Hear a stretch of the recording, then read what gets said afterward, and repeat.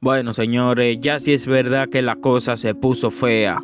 Ay, mi madre, increíble pero cierto lo que acaba de pasar. Te vas a quedar con la boca abierta. Increíble pero cierto. Quédate hasta el final para que te dé cuenta de todos los detalles.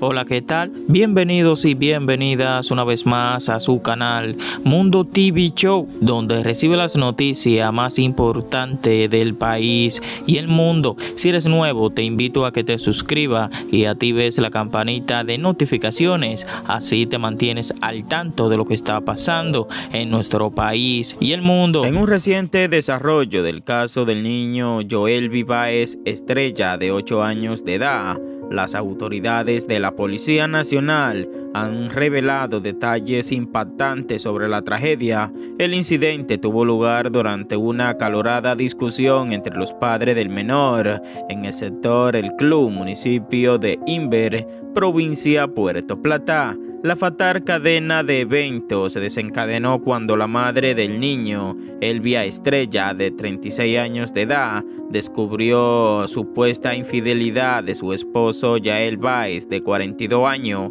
a través de conversaciones en un celular. Esto provocó una intensa confrontación entre ambos, quienes lamentablemente se confrontaban bajo los efectos del alcohol. En medio de la acalorada discusión, el padre agredió a la mujer propinándole una trompada en el ojo. En un giro desafortunado, la madre tomó un arma blanca larga con la intención de agredir a su esposo, pero de manera accidental hirió gravemente al pequeño Joel V en la cabeza. A pesar de recibir atención médica inicial en el Hospital Municipal de Inver, el niño fue trasladado al Hospital Regional Presidente Estrella Ureña en Santiago. Lamentablemente falleció debido a la gravedad de sus heridas. Qué triste, qué lamentable lo que vivió este pobre pequeño, Dios mío morir a mano de su propia madre cuando se encontraba confrontando a su esposo supuestamente por una infidelidad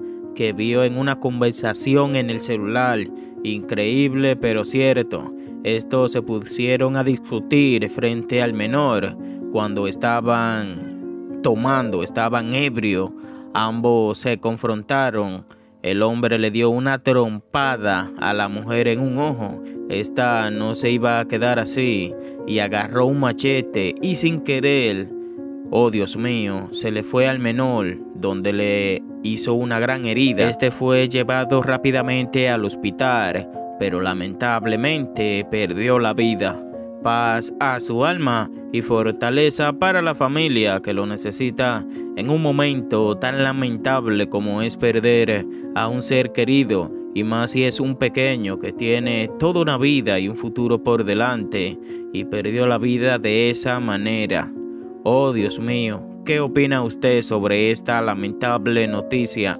Cualquiera que sea tu opinión, déjamela saber en la caja de comentarios porque tu opinión cuenta. Pero la noticia no termina aquí, señores. Increíble pero cierto. No van a creer lo que acaba de hacer el presidente de la República, Luis Abinader.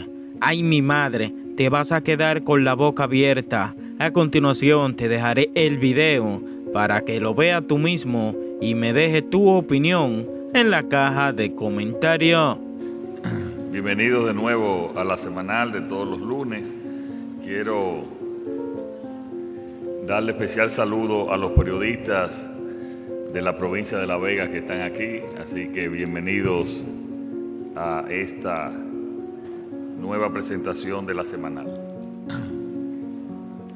Hoy tenemos un tema que nos ha apasionado desde hace muchos años, desde antes de llegar al gobierno, que es el tema del agua. El agua, tanto la el agua para riego, el agua potable y también para las aguas de tratamiento eh, de los alcantarillados sanitarios. Incluso desde antes de llegar al gobierno nosotros sugerimos un gran pacto por el agua que firmamos hace unos meses, me parece que fue, ¿cuándo fue? Sí, agosto o septiembre. En agosto fue, firmamos el Pacto del Agua, como un pacto por muchos, para muchos años, para terminar este gobierno también y los gobiernos por venir. Y aquí tenemos presentes al INDRI, al ingeniero Olmedo Cava, está presente también Fellito Suberví de la CAS y Wellington Arnaud de INAPA y el ministro de Planificación, Economía y Desarrollo, el MEPIT, que fue el que coordinó el Pacto del Agua y que también, eh, pues, eh, bajo él está la, la Mesa del Agua, que, lo coordinamos y, y llevamos todas las políticas también de este sector. Empezando a hablar del INDRI, y vamos a irnos por, eh, por cada una de estas áreas, y vamos a presentar las obras que está haciendo el INDRI y después las que está haciendo la CAS, que es la Corporación de Acueducto del Alcantarillado de Santo Domingo, y la que hace el INAPA con todos los proyectos también que tienen cada una de estas instituciones. Pasar a la próxima lámina.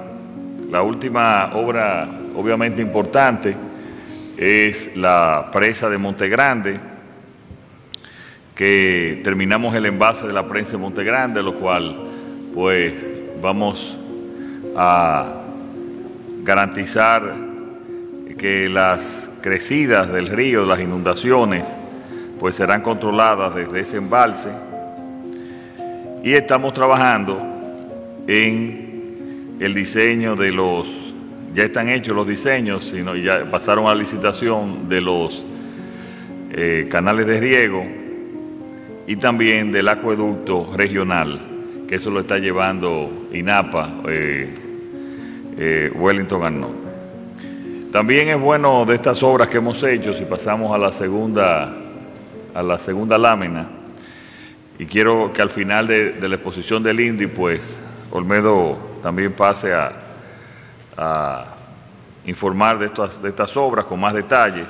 Este es un el, proyecto agrícola 2 Pueblo Viejo, que hemos, lo hemos ido completando y en este gobierno hemos inaugurado, hemos construido y rehabilitado varios reservorios de agua, cinco, para una capacidad de 500 mil metros cúbicos de almacenamiento y 380 mil tareas de riego impactando a unos 7.900 usuarios productores de 15 comunidades de la provincia de Azua. En cuanto a los, pasamos a la próxima lámina, en cuanto a los canales de riego, la adecuación y los sistemas de riego, hemos intervenido 4.000 kilómetros de canales de riego y drenajes, eso alrededor de, de más de 350.000 tareas beneficiadas en Montecristi, con obras también del río Yaque del Norte, en el norte del país, y la construcción del sistema de interconexión del canal Juan Carlos con la presa de la Piña en Dajabón, que lo hicimos iniciando el gobierno. En cuanto a la cuenca del río Yuna, también hemos mejorado gran parte de, los canales, eh, las instalaciones, las infraestructuras, impactando a más de 680 mil tareas y a unos 13 mil productores favorecidos.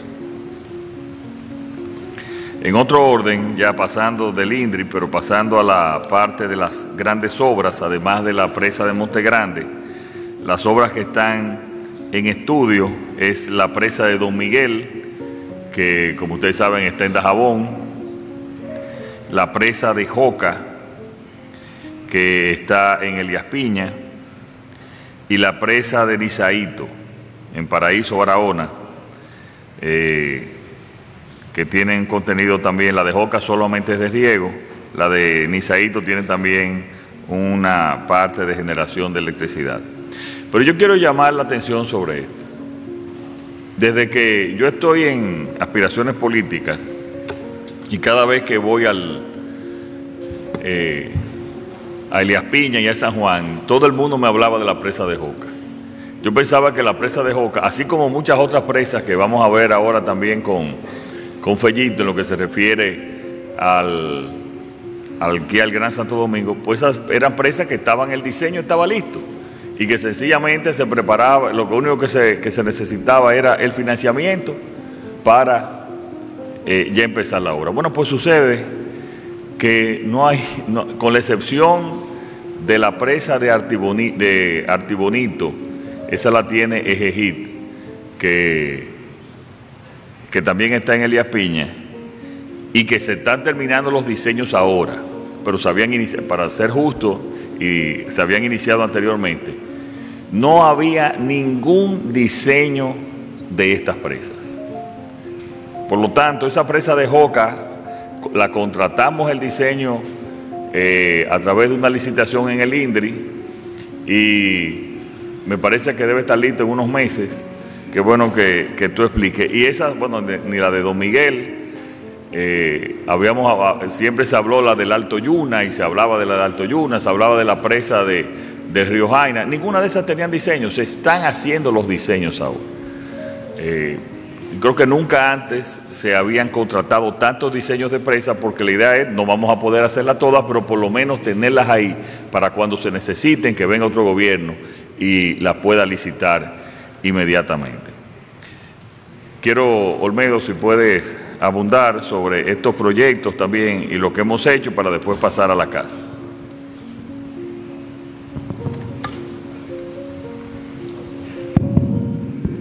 Sí, buenas tardes, presidente. Buenas tardes a todos los presentes, comunicadores, productores, a todos los funcionarios que nos acompañan esta tarde.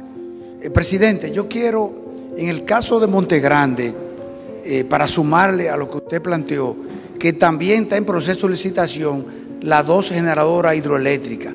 O sea que eso es un componente también que está contemplado. Igualmente, también se va a licitar en los próximos meses lo que son las obras de mitigación, principalmente en la provincia de Barahona, que todos sabemos que siempre ha sido eh, víctima de, de, esas inundaciones cada vez que se presenta una crecida en Yaque del Sur. Aunque ya la presa, de hecho, nosotros podemos asegurar, como usted dijo, presidente, de que las inundaciones que se producían en la parte baja, principalmente en Barahona, ya están controladas con la presa Monte Grande, eh, con la regulación que nosotros tenemos en ese aspecto. Bueno, eh, es importante destacar que ya la presa de Don Miguel en aproximadamente tres semanas, final de este mes, estará listo ya, presidente, el diseño eh, para nosotros presentárselo a usted y al equipo de gabinete del agua. Igualmente, también lo que tiene que ver con JOCA, también está ya en más de un 90% y lo vamos a presentar a final del mes de febrero. Y la presa de Nizaito, que esa presa es en el municipio de Paraíso, de Barahona, que va a garantizar agua para riego para toda esa zona de Oviedo, Guancho, igualmente eh, para parte de Pedernales, de la provincia de Pedernales, eh, nosotros eh, pretendemos los próximos meses, porque eso incluso está en las obras complementarias de Montegrande, el diseño definitivo de ese proyecto. Tenemos un prediseño, con ese proyecto definitivo ya podremos licitarlo. Igualmente, nosotros estamos trabajando en el INDE, en la presa de Mijo, eso es San Juan de la Maguana, para eh, conocimiento de todos los presentes. Pero yo quiero destacar, presidente, aquí una serie de estudios y de trabajo que el INDRI está, va a iniciar en los próximos días por su orientación y bajo sus órdenes, como es el caso de lo que es la modernización del sistema de riego de San Juan de la Maguana.